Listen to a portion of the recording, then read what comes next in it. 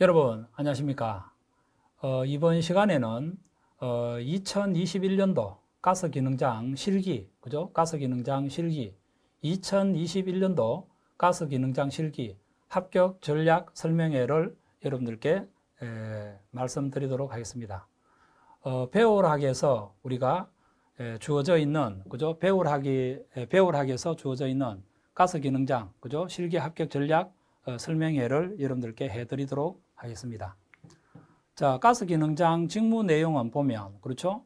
예, 고도의 전문적인 지식 및 기능을 가지고 그죠? 각종 가스를 제조할 수가 있는 것이다. 그 다음에 두 번째로 가스를 운전, 그죠? 설비, 저장, 공급에 대한 취급, 그죠? 가스를 취급하고 있다. 가스를 가지고 우리가 다른 예, 가스를 예, 종류가 서로 다른 가스를 제조할 수도 있고 이 제조한 가스를 우리가 일시 저장 또는 장기적으로 저장을 하고 있고 그 다음 이 저장되어 있는 가스를 이용을 해서 우리가 사용을 하고 있다. 그렇죠? 또는 공급을 하고 있다. 공급을 시키고 있다. 이와 같은 내용들, 그죠? 가스 장치에, 그죠? 가스 장치에 따른 고장을 진단하고 유지 관리를 할 수가 있는 것이 가스 기능 장들입니다. 그렇죠? 그 다음에 가스 금, 어, 가스 에, 설비라든지 그죠? 검사 업무라든지 그죠? 에, 안전 관리 결국 우리가 에, 사고가 일어나지 않도록 안전 관리할 수 있는 것이 이게 핵심 사항 아닙니까? 맞죠? 에, 가스는 여러분들께서도 아시다시피 에, 순간적으로 우리가 에, 폭발을 일으킬 수 있는 그와 같은 가연성 가스들이기 때문에 우리가 화재가 일어난다 하더라도 폭발이 일어난다 하더라도 이 소방관들이 쉽게 접근해서 화재를 진압하기가 어려운 내용들이 되겠다. 특히 우리가 독성가스인 경우 있지 않습니까? 그렇죠? 포스겐을 취급하고 있는 업체, 그죠? 황화수소를 취급하고 있는 업체, 시아나수소를 취급하고 있는 업체, 예. 이와 같은 가스들이 누설, 누설이 되었을 때 어, 누가 전문적으로 이것을 우리가 제재를 해야 될 것인가, 그죠? 그와 같은 어, 내용들이다라고 보시면 되겠습니다.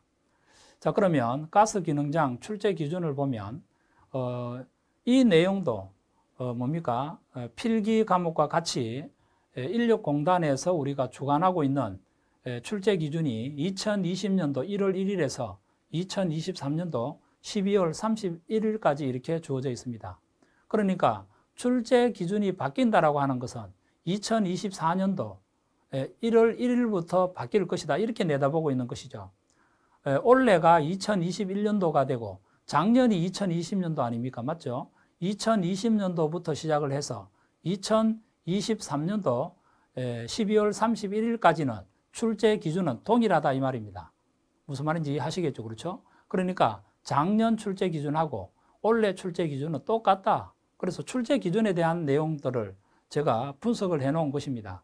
실기 과목 같은 경우에는 가스 제조 설비에 대한 취급, 유지관리, 안전관리. 이 안전관리라고 하는 것은 과가스 안전관리법에 규정이 되어 있는 이것은 우리가 법규 내용이죠. 법규. 그렇죠? 예, 과가스 안전관리법에 규정이 되어 있는 어, 법규 내용이다라고 보시면 되겠습니다. 보통 이 법규 내용은 예, 뭐라고 볼 수 있는가 하면 예, 법에 보면 법이 있고 그죠? 시행령이 있고 시행 규칙이 있다 이 말입니다. 이 시행령에 따르는 별표가 있습니다. 그 별표가 모아놓은 것이 이게 가스 안전 관리다라고 보시면 되겠죠. 그렇죠? 에, 우리나라에서 에, 주어져 있는 법규, 법규 그 아랫부분의 시행령 그 아랫부분에 더욱더 에, 자세하게 설명이 되어 있는 것이 시행규칙입니다.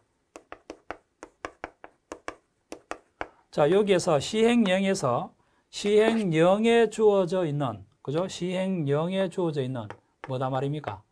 에, 별표에 대한 내용이 되겠죠. 그죠? 별표. 에, 별표 1이 있고, 그죠? 별표 2가 있고, 이게 다른 에, 내용들이 우리가 가스 안전 관리에 대한 과목이다. 이렇게 생각하시면 되겠습니다. 그러니까 법적으로 주어져 있는 이 내용이 우리가 중요한 내용이 되, 는 것이죠. 그죠?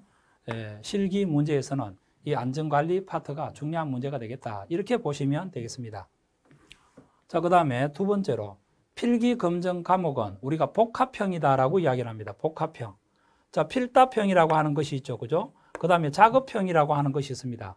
이 두 개 종류가 두 가지 종류로 시험을 치기 때문에 우리가 복합형이다라고 부르고 있는 것이죠. 자, 필답형이라고 하면 주관식 단답형입니다. 주관식 단답형. 그러면 작업형이다라고 하면 배관을 깎아서 나사산을 내어 가지고 이 조립을 하는 도면대로 작품을 만들어내는 것이 아니라 무슨 형태로 동영상으로 시험을 칩니다. 동영상. 어, 가스를 취급하고 있는 예, 기업체에 예, 직접 출제위원이 찾아가서 그죠 그 설비를 영상을 찍어 온다 이 말이겠죠. 그래서 답안을 작성을 할 때는 예, 필답형과 마찬가지로 시험지에 영상을 보고 답안을 작성을 해 나가는 것이기 때문에 그러니까 복합형, 필답형, 작업형 이 작업형의 형태를 보면 말입니다. 실제로 뭡니까? 요 작업이라고 하는 말 자체가 우리가 현장에서 우리가 직접 우리가 파이프렌치라든지 그죠? 이와 같은 작업을 하는 그와, 그와 같은 시험의 형태다라고 생각하시면 안 됩니다. 아시겠죠? 그죠? 그러니까 동영상을 보고 필기로 이렇게 답안을 작성하는 것이기 때문에 그 필답형이나 작업형이나 에, 에, 같은 뭐 내용이다 이렇게 보시면 되겠죠. 무슨 말인지 이해하시겠습니까? 그렇죠? 자, 필기 검정에서 필답형은 12문제, 동영상은 10문제 이렇게 출제가 되고 있습니다. 시험 시간은 필답형은 1시간 30분, 작업형도 1시간 30분 이렇게 시험이 에, 시험을 치고 있다. 이렇게 보시면 되겠죠. 자, 그 다음 최신 출제 에, 경향을 분석을 한번 해보면 어, 제가 계속해서 우리가 출제되고 있는 문제를 에, 제가 분석을 하죠. 그죠? 분석을 해서 에, 여러분들께 어떻게 하면 여러분들이 어, 쉽게 초보자도 어떻게 하면 쉽게 자격증을 취득을 할 수 있는 것인가? 그죠? 취득을 할 수 있을까? 제가, 제가 해야 될 역할은 에, 가장 많, 많은 양을 여러분들 교재 가장 두꺼운 이 교재를 어떻게 하면 우리가 에, 에, 뭡니까 최소의 노력으로 그죠 최소의 노력, 노력으로 에, 합격할 수 있도록 제공해 주는 것이 그죠 제가 해야 될 역할이지 않습니까 맞죠 에, 최소한의 노력으로 자격증을 취득할 수 있도록 에, 해야 될 것이 제가 예, 여러분들께 에, 제공해야 되는 것이다. 이렇게 저는 판단하고 있습니다. 그래서 어떻게 하면 쉽게 암기를 할 것인가? 암기할 수 있는 암기법을 에, 만들어내고 계속해서 강의 도중에 여러분들께 에, 설명을 해드리고 있다. 자, 그러면 필답형하고 작업형 이렇게 시험을 치고 있는데요. 에, 필답형 이게 50점입니다. 50점. 그러니까 50%가 출제가 되고 작업형 이것도 우리가 50점이 되겠습니다. 그죠? 50%가 이렇게 출제가 되고 있다. 그러면은 작업형 시험 같은 경우에는 기출 문제가 약 50% 정도 차지하고 있기 때문에 그죠? 비율이 많죠. 그죠? 비율이 많은 어, 경우라고 보시면 되겠고 필답형 같은 경우에는 기출 문제에서 출제되는 비율이 25% 정도밖에 안 돼요. 그러니까 요즘에 최근 법 개정으로 인해 가지고 새로운 출제 문제가 그죠? 새롭게 출제되는 문제가 점점 증가하고 있다. 이렇게 보셔야 되는 것입니다. 그러니까 여러분들께서 합격 전략은 작업형을 기준으로 작업형은 사진으로 공부를 하시면 이 사진을 결국 마지막 부분에 딱 화면을 정지시켜 놓고 에, 질문을 에, 하기 때문에 사진으로 여러분들께 에, 강의를 해드리고 있습니다. 그죠? 실질적으로 사진을 보고 여러분들께서 공부를 하더라도 영상에 제공하는 내용과 거의 일치한다. 95% 일치한다. 이렇게 생각을 하시면 되겠습니다. 무슨 말인지 이해하시겠죠? 그렇죠? 그래서 공략을 할 때 작업형이 기출 문제에서 많이 나오니까? 예, 작업형을 기준으로 해서 여러분들께서 예, 공부를 해 주셔야 되겠다. 그죠? 이것을 완전히 정복을 하고 난 다음에 그두 번째로 우리가 예, 시간이 남으면 여기에다가 투자를 해 주셔야 되겠죠. 필답형에 투자를 해 주셔야 되겠다. 그러면 작업형에서 우리가 50점 맞으면 필답형에서는 10점만 맞으면 될 거 아닙니까? 맞죠? 무슨 말인지 이해하시겠죠? 그렇죠? 여기에서도 우리가 안전관리에 관련되어 있는 문제가 25%, 가스 설비에 관련되어 있는 문제가 25%, 기출 문제가 25% 이렇게 출제가 되기 때문에 이 중에서 간단한 계산 문제가 두 문제 정도가 출제가 되는데요. 이것은 대부분 다 가스 기능장에서는 뭡니까? 이상기체 상태 방정식을 이용을 한다라든지, 그죠? 저장 능력을 이용한 계산 문제 있지 않습니까? 그렇죠? 예, 예를 들어 가지고 압축가서 저장 능력 에, Q는 우리가 어, 가로 열고 10P 더하기 1 가로 닫고 V 이 공식을 이용한다라든지 그죠? 에, W 이꼴은 0.9 dV라든지 그죠? 어, 지금 어, 여러분들께서 1차 공부하신 어, 하신 분들이기 때문에 제가 무슨 말을 하는지는 알고 계시리라고 판단이 됩니다. 에, 그래서 여러분들 에, 최신 출제 경향을 분석한 내용을 보고 여러분들께서 어디에다가 집중적으로 먼저 공략을 하고 나머지 시간이 남으면 우리가 필답형 문제에 신경을 써야 되겠다. 이렇게 볼 수가 있는 것이죠. 자, 그 다음, 배울학에서 어, 배울학 커리큘럼을 보도록 하겠습니다. 정규 과정에서 말입니다. 그죠? 각 과목별 이론 어, 정리를 해 놓았습니다. 예상 문제, 각 과목별로 예상 문제 풀이를 해 드렸습니다. 여기에서 예상 문제라고 하는 것은 산업인력관리공단에 따른 출제 기준에 근접한 문제들을 여러분들께 설명을 해 놓았다. 이렇게 보시면 되겠고, 기출문제, 최신 기출 문제 기준을, 기준으로 여러분들께 풀이를 해 드렸습니다. 자, 그러면 다섯 번째로 2차 필기 합격을 위한 필승 전략을 어, 보도록 하겠습니다.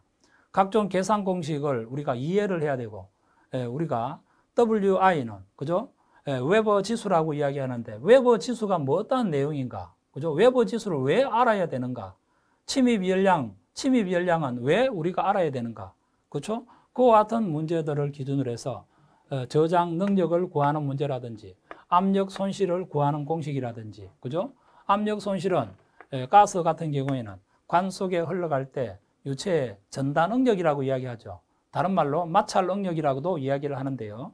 그와 같은 손실이 어느 정도 일어나는지 어, 이와 같은 것들을 우리가 여러분들께서 알고 계셔야 되기 때문에 또 이와 같은 문제들이 실질적으로 시험 문제 출제가 되고 있기 때문에 설명을 해드리는 것이다.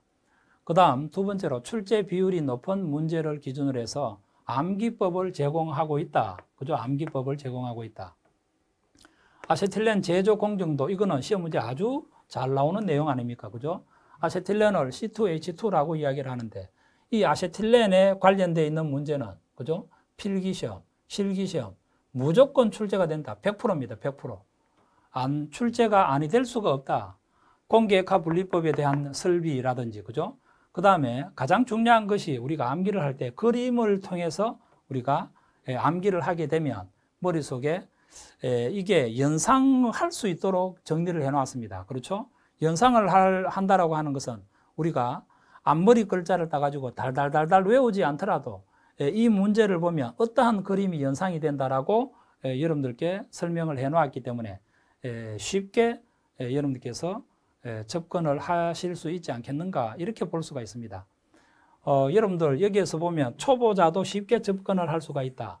제가 강의할 때는 예, 전공을 한 사람을 위주로 강의를 하지 않습니다. 아무것도 모르는 백지 상태에서 새롭게 출발한다라고 생각을 하시고 강의를 해 놓았기 때문에 그죠? 처음에 에, 가스에 대한 에, 내용을 전혀 모르시는 분들이더라도 쉽게 우리가 자격증을 취득할 수 있도록 상세한 강의를 해 놓았습니다. 그죠? 상세한 강의를 해 놓았다. 그러니까 전공을 하신 분들을 기준으로 강의를 하게 되면 중간중간에 내용은 뛰어 넘어가야 될 거 아닙니까? 맞죠? 그래서 단어 하나하나, 용어 하나하나, 예, 그죠? 예, 초보자를, 예, 초보자라고 생각을 하고 강의를 해 놓았다. 이렇게 보시면 되겠습니다. 자, 이렇게 해서, 그죠? 2021년도 배우락에서 2021년도 합격 전략 가스 기능장 합격 전략 설명회를 마치도록 하겠습니다. 감사합니다.